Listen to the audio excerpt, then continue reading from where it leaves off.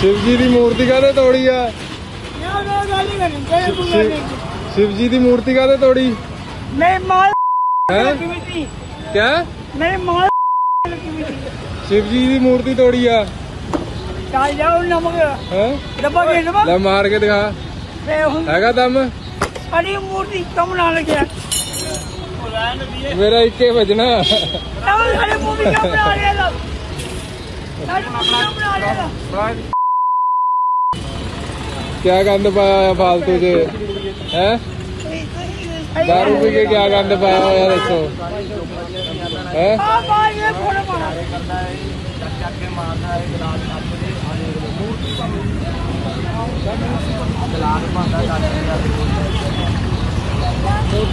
ਨਹੀਂ। ਆ ਪਾਣੀ ਵੀ ਦੇ ਦੋ ਮੈਂ ਸ਼ਿਵ ਜੀ ਦੀ ਮੂਰਤੀ ਭੰਤੀ ਹਾਂ ਭਾਂਡੀ ਪਾਣੀ ਦੇ ਦਿੱਤਾ? ਸ਼ਿਵ ਜੀ ਦੀ ਮੂਰਤੀ ਭੰਤੀ ਆ ਗੱਲ ਗਲਤ ਆ। ਆ ਪਿੱਛੇ ਤੁਸੀਂ ਕਰੀ। ਕਰੀ। ਉਹ ਤੇਰੀ ਪਾਈਨਐਪਲ ਹੋਰ ਕੇ ਦਾ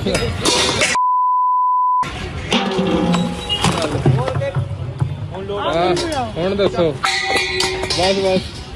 ਹੋ ਗਿਆ ਹੁਣ?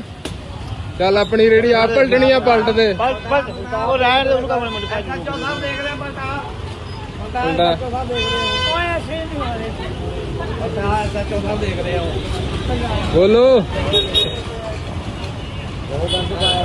ਸ਼ਿਵ ਜੀ ਦੀ ਮੂਰਤੀ ਨਹੀਂ ਭੰਨਣੀ ਚਾਹੀਦੀ ਦੀ ਵੈਸੇ ਠੀਕ ਆ? ਇਹ ਬੇਕਦਰੀ ਆ ਹਿੰਦੂ ਧਰਮ ਦੇ ਅਸੀਂ ਵੀ ਰਖਵਾਲੇ ਤੁਸੀਂ ਵੀ ਹੈਗੇ ਆ।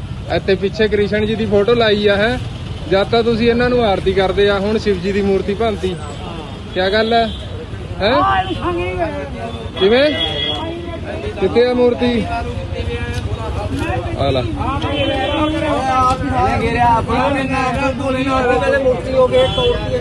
ਭੋਲੇ ਨਾਲ ਦੀ ਮੂਰਤੀ ਕਦੀ ਉਹਨੂੰ ਜੁੱਤਾ ਮਾਰਦਾ ਮਾਤਾ ਦੇ ਬੰਦਾ ਨੂੰ।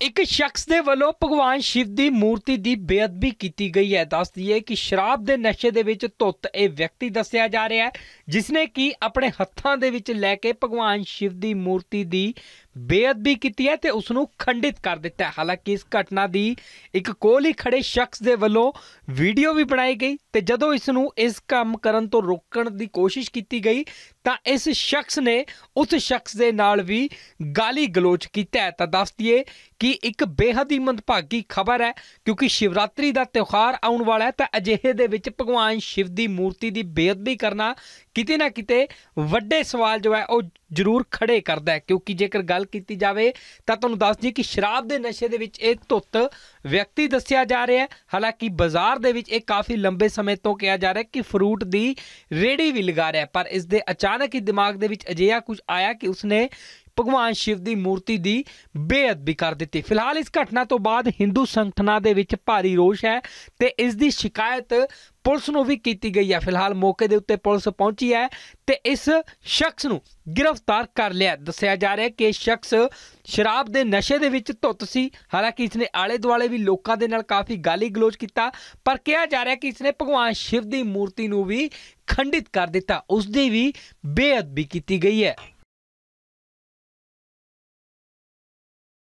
ਮੈਨੂੰ ਪਤਾ ਲੱਗਿਆ ਸੀ ਵੀ ਸ਼ਾਮ ਨੂੰ ਇੱਕ ਕੋਈ ਫਰੂਟ ਦੀ ਰੇੜੀ ਲਾਂਦਾ। ਜਿਹਨੇ ਜਿਹੜਾ दारू ਪੀਤੀ ਵੀ ਸੀ। ਔਰ ਜਿਹੜੀ ਭੋਲੇਨਾਥ ਦੀ ਮੂਰਤੀ ਆ ਇੱਕ ਉੱਥੇ ਓਪਨ ਦੇ ਵਿੱਚ ਦਰਖਤਾਂ ਦਰਖਤ ਦੇ ਕੋਲ ਬਹੁਤ ਮੂਰਤੀਆਂ ਪਈਆਂ ਵੀ ਉਹਦੇ ਚੋਂ ਨਾ ਭੋਲੇਨਾਥ ਦੀ ਜਿਹੜੀ ਮੂਰਤੀ ਆ ਉਹਨੂੰ ਖੰਡਿਤ ਕੀਤਾ ਹੈ ਤੋੜਿਆ ਹੈ। ਔਰ ਬਹੁਤ ਹੀ ਜਿਹੜੀ ਨਿੰਦਨਯੋਗ ਇਹ ਗੱਲ ਆ। ਤੇ ਮੈਂ ਐਸਐਚਓ ਸਾਹਿਬ ਨੂੰ ਮਿਲਿਆ ਸੀ ਜਿਹੜੀ ਕਾਰਵਾਈ ਉਹਦੇ ਪਰ 295 ਦੀ ਹੋ ਗਈ ਹੈ ਪਰਚਾ ਉਹਦੇ ਪਰ ਭਾਜੀ ਹਲੇ ਕੱਲ੍ਹ ਤੁਸੀਂ ਪ੍ਰੋਟੈਸਟ ਕਰਿਆ ਅੱਜ ਫੇਰ ਰੋਪੜ ਦੇ ਮਾਮਲਾ ਦੇਖਿਆ। ਤੁਹਾਨੂੰ ਕੀ ਲੱਗਦਾ ਕਿ ਇਲੈਕਸ਼ਨ ਦੇ ਦਿਨਾਂ 'ਚ ਇੱਦਾਂ ਸਭ ਕੁਝ ਕਿਉਂ ਹੁੰਦਾ?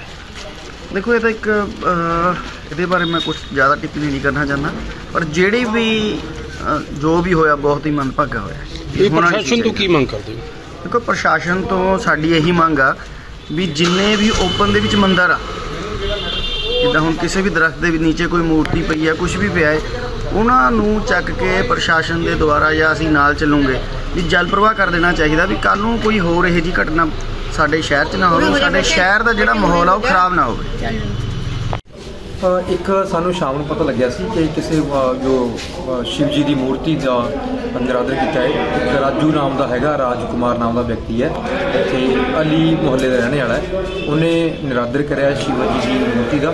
ਤੇ ਉਹ ਤੇ ਅਸੀਂ ਕੰਪਲੇਂਟ ਮਿਲਦੀ, ਸਾਰੇ ਅਸੀਂ ਸਾਡੇ ਪ੍ਰਧਾਨ ਜੀ ਆਏ ਸੀ ਇੱਥੇ ਸਜਣ ਘਨੌਲੀ ਜੀ, ਉਹਨਾਂ ਦਾ ਅਸੀਂ ਬਿਆਨ ਲਿਖਦੇ ਤੇ ਅਸੀਂ ਅਗਲੀ ਕਾਰਵਾਈ ਅਮਲ 'ਚ ਲਿਆਤੀ ਹੈ ਜੀ। ਬੰਦੇ ਨੂੰ ਅਰੈਸਟ ਕਰ ਲਿਆ ਹੈ ਤੇ ਕੱਲ੍ਹ ਪੇਸ਼ ਕਰ ਦਾਂਗੇ ਸਾਡੇ 7:00 ਵਜੇ ਮੈਨੂੰ ਇੱਕ ਫੋਨ ਆਉਂਦਾ ਹੈ। ਉਹਦੇ ਫੋਨ ਦੇ ਵਿੱਚ ਮੈਨੂੰ ਦੱਸਿਆ ਗਿਆ ਕਿ ਉੱਥੇ ਕਿਸੇ ਇੱਕ ਬੰਦੇ ਨੇ ਸ਼ਰਾਬ ਪੀਤੀ ਵੀ ਹੈ ਤੇ ਜੋ ਸ਼ਿਵ ਭੋਲੇ ਦੀ ਮੂਰਤੀ ਹੈਗੇ, ਉਹ ਮੂਰਤੀਆਂ ਨੂੰ ਤੋੜਦਾ ਪਿਆ। ਤੇ ਉਸ ਸੰਬੰਧੀ ਅਸੀਂ ਅੱਜ ਥਾਣੇ 'ਚ ਕੰਪ- ਆਏ ਸੀਗੇ, ਤੇ ਥਾਣੇ 'ਚ ਕੰਪਲੇਂਟ ਦਿੱਤੀ ਹੈ ਤੇ ਉਹਦੇ 'ਚ 295 ਦਾ ਪਰਚਾ ਦਰਜ ਕਰਨ ਦੀ ਅਸੀਂ ਮੰਗ ਕੀਤੀ ਹੈ।